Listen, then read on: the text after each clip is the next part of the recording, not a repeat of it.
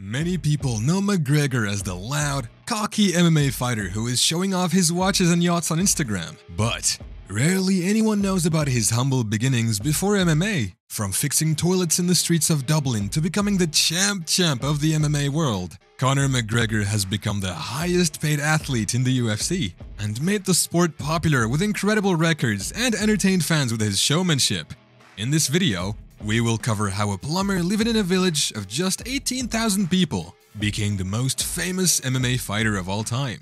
From the tough streets of Ireland, Dublin, growing up in the streets of Crumlin, a neighborhood in the south of Dublin, Conor had to learn to defend himself. He started fighting classes under the guidance of John Kavanagh at Straight Blast Gym. It gave him an outlet where he could channel all his frustration. He started spending more and more time in the gym, However, he was miles away from being a professional fighter. His family pushed him to find a job, and he started working as a plumber at 17. He was doing the job to support his family, knowing that he was wasting his potential. He tried to push himself to do this job for more than a year, but the voice inside his head kept getting louder. Finally, he decided to give up. One day, the Irish gorilla was sitting in a parking lot with his fellow plumbers during the lunch break.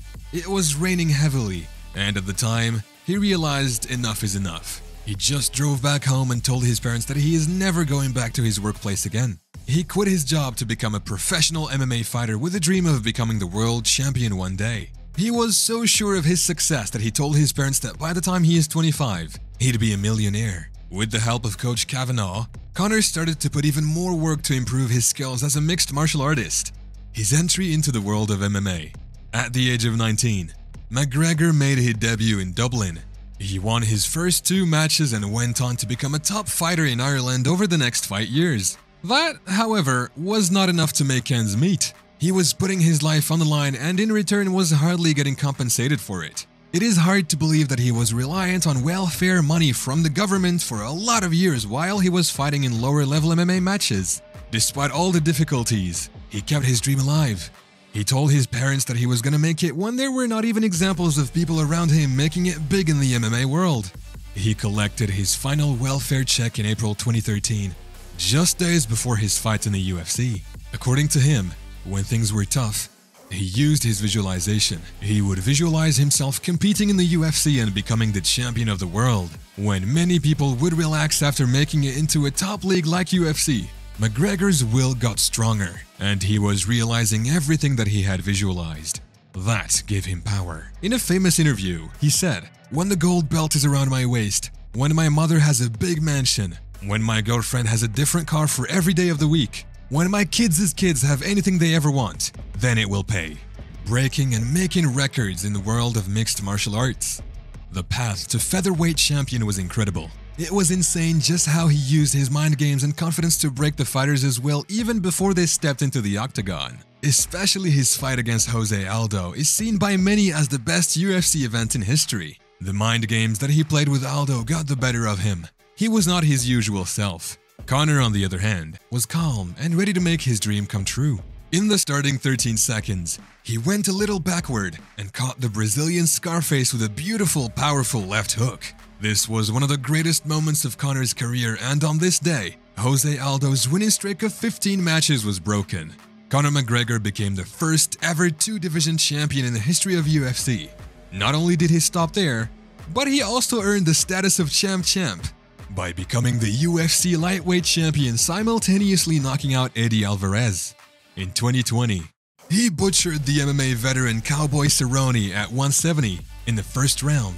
Like he says, who has gone up and down divisions and stopping people like that with knockout victories? Truly, no other than the Notorious himself. Duology with Stockton's bad boy Nathan Diaz. Until this time, the Notorious was bouncing heads off the mat. He was on a crazy win streak. He used to roast his opponents in the pre-fight press conferences, predict his knockouts and then execute them. Conor was not only talking, he was backing up his talks with his incredible performances.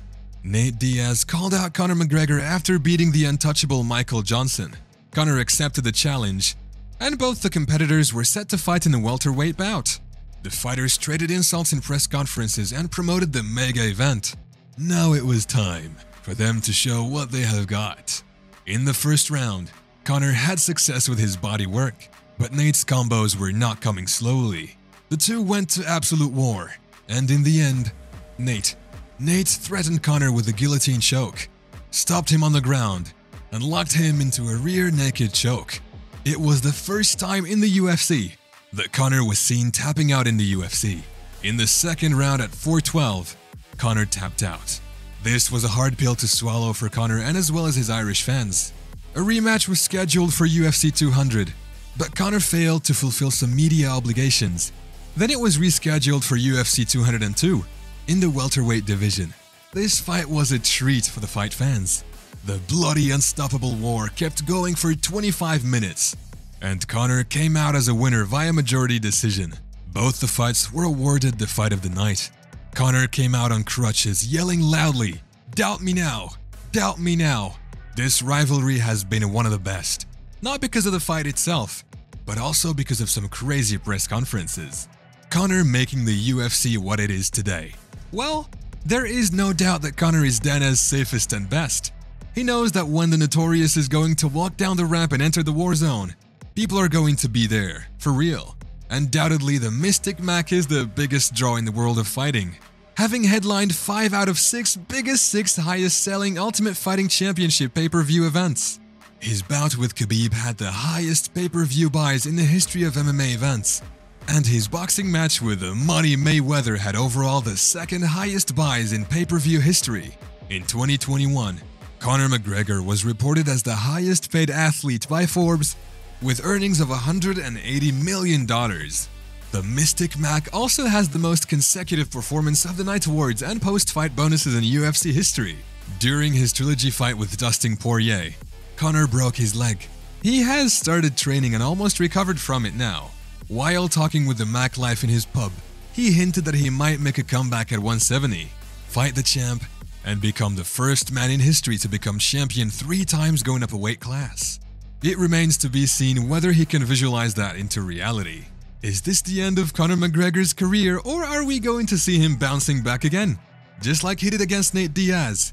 Comment in the section below and give us your thoughts.